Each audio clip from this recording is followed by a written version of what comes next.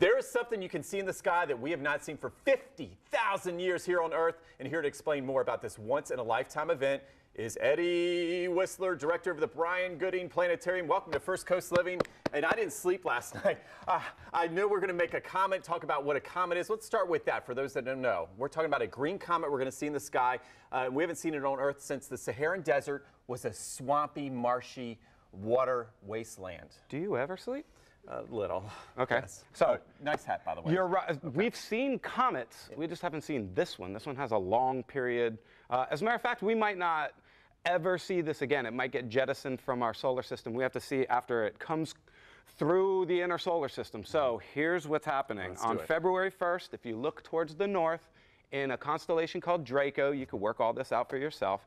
See if you can, with your bare eyes, see kind of like a green hue in the sky. I can picture It's it. not going to be super exciting with your own two eyes. You need dark skies. Mm-hmm. But binoculars are going to help big time. And if you have a telescope, you just dust that thing off if it hasn't been out in a while. And this will be a reason to go out. And Eddie, why such a rare event, and why is it taking so long for us to see this thing again, and maybe never again after this time around? Well, because there's billions of comets. Okay. Not all of them come visit us in our lifetimes, but there are comets that come by. There are ones that have been and will be more um, amazing to see with your own two eyes. But this one is, um, it's our first one of 2023, and it's green, so it's got this little, it's got this little unique part to it. Okay. Comes from the chemicals that are on the surface getting ionized by the sun and its UV light, but we should build a comet so that we just are all working from the same playbook Right. on what we're looking at.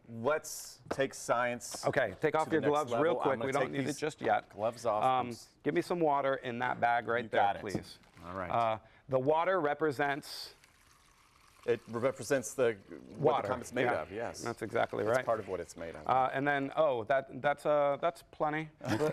uh, let's see if we got. I should have I should have directed you a little bit, but we're going to empty some of this because we want to get it done. So we have some Perfect. water Uh-huh.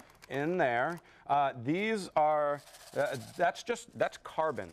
I love it. And so we've got some carbon. some that's a that in part, and not only that, that's really gonna. You could add that whole thing. I'm gonna add the whole thing. And we have sand here for silicates, Sand. about half that right there, and we'll just empty that. Go, okay, fine, the whole thing. Sure, why not? um, some ammonia. Oh. So glass cleaner. We also have. So that represents some ammonias. We have silicates. We have carbon as part of it, and then what we have also is like organics. okay, that makes Okay, sense. Organic. organics and simple sugars. Um, these can add together in order to make amino acids. So we Uh-huh. find organic material in space all over the place. Okay. Uh, and even on comets. And then what we do is you're going to take this right here and you're just going to mix it all around. In the meantime, um, I'm going to go ahead and I'm going to I'm going to blast some more of our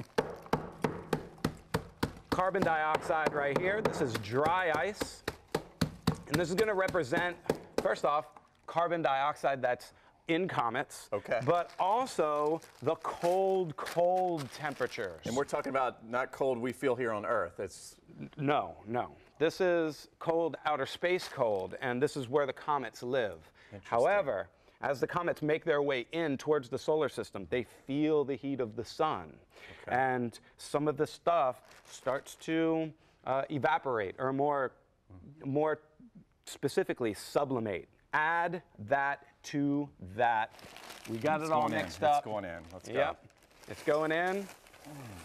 Oh, There you go. And now uh, with those gloved hands, Mm-hmm. you can go ahead and pull that bag right there out and start to uh, just mix the contents at the bottom. And not only that, this will be cool right here uh, to see. And you hold from the two sides. Got it. And I will go ahead and just press this material together. Mm. And we are starting to make a comet inside of this bag. Um, Amazing. so, you know, all of this material that we added is to be found in comets. We've landed on comets in outer space. Okay. We view comets through telescopes. We know what they're made up of. Wow. And if we are lucky enough, we're going to Mm-hmm. take out a chunk of this and pretty much just see a dirty snowball. Okay. That is what comets are just dirty snowballs out in space. Orbiting so I'm around the pressing sun, yeah. all of this together. Beautiful job. Now the thing is, you come in close as a comet and you start feeling the heat of the sun. Okay. And some of this material comes bubbling out in the way that you see here, going straight from the solid form into uh, the gas form. Gas form. Okay. And a lot of that comes out of the back of the comet, and we see that as It'd be the tail. the tail. Okay. And Right. can we depict, well, we made our comet. Can we depict the solar wind now as well? Uh, I would really love to. Okay. I'll So the you say solar the wind, like what do you mean by that? well, Tell the we know we have wind here on Earth, but we actually have what we call a solar wind coming from the sun. And as that uh, solar wind hits our comet, that should help uh, not only melt it a bit or, or sublimate, but actually create a, a beautiful tail like we're going to see in the sky, right? yes, Okay. yes. So here is our comet. Beautiful. I've never seen a comet up so close. This is un, I just It's in your, amazing. it's in your studio. It is. Okay. Now, um, we have our comet. Typically, it's super, super cold, way out in comet land. Right. Earth has a distance from the sun, and comets come from 2,000 to 100,000 times more distant. Okay. And so as it comes in from comet land where it's cold, it starts to heat up. You ready? And we're going to see, let's, we should put that on low Okay. and on heat. It's on heat. And we'll see if we can blow back a tail. Come on, let's go. Maybe too high. Maybe too on, high. tail. I see the tail. A little bit of a tail. Okay. To the side a little bit. A little bit to the side. And there you go. Isn't science beautiful, Eddie? Oh, look at all of Oh, my- yes. We get a close-up view and we just see our comet bubbling away. All right, Eddie. The green comet in the sky for the first time in 50,000 years.